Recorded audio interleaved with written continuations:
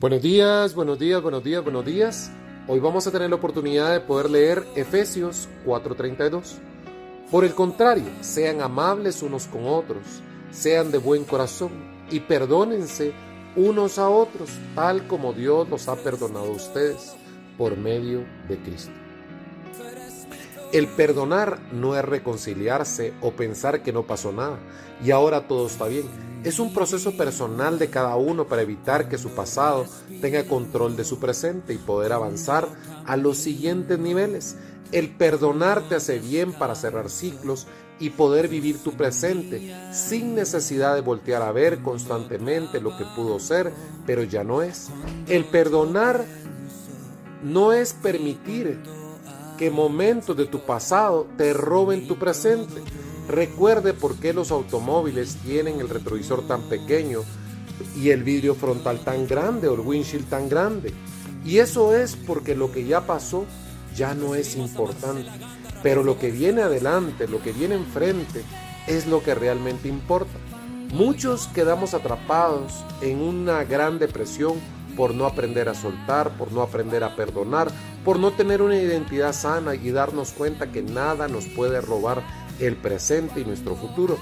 Hay algunos que pueden estar pasando por momentos terribles, como lo es el divorcio, incluso el robo de algo que usted apreciaba muchísimo, momentos de angustia, eh, enfermedades. Mire, alguien más pudo haber causado algún problema que hoy por hoy usted no ha sido capaz de poder perdonar. Sin embargo, entre más rápido usted logre sanar, perdonar, ese ciclo más rápidamente podrá avanzar, agarrar su presente para disfrutar lo lindo que es la vida.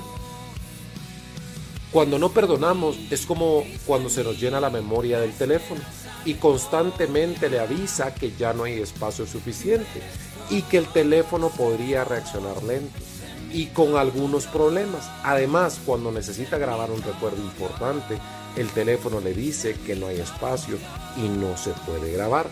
Así es el no perdonar. Le roba espacio en su presente y le obliga a subir montañas con cargas que cada paso se vuelven más pesadas y más difíciles.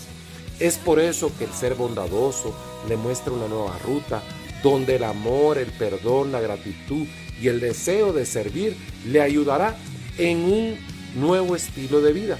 Hay personas que no perdonan porque piensan que le hacen un bien a alguien que no lo merece. Pero la verdad es que el que perdona tiene la humildad de perdonar. Él es más beneficiado que la persona que se está perdonando. Y eso es una sensación increíble, ya que ese pasado ya no tendrá control más sobre cada una de nuestras vidas. El que perdona es como esos aviones que está pidiendo pista para aterrizar por, y la torre le está diciendo que no hay espacio. El problema es que ese avión solo puede estar en el aire mientras le dure el combustible.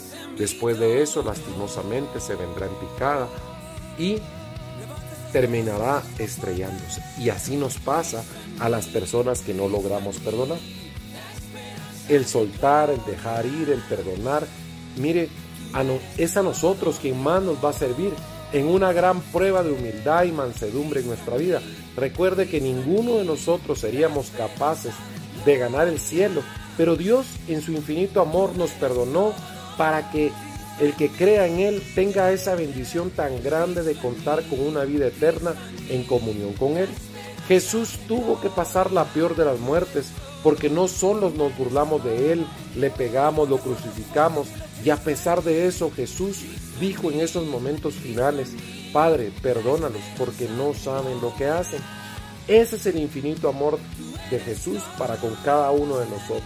El poder perdonar te libre, te ayuda, te ayuda a construir un nuevo futuro, pero también un nuevo presente. Y recuerde que se llama presente porque es un regalo que cada uno tenemos en este momento. Vamos a orar, Padre, te damos gracias. Te pedimos perdón por todos esos enojos, por todas esas rabietas, por todas esas personas que no hemos logrado perdonar porque nuestro corazón no está así. Te pedimos que nos des esa fuerza de voluntad, esa humildad, que quites quites la arrogancia, el orgullo probablemente que podemos tener en este momento para poder ser esas personas que tú quieres y podamos perdonar.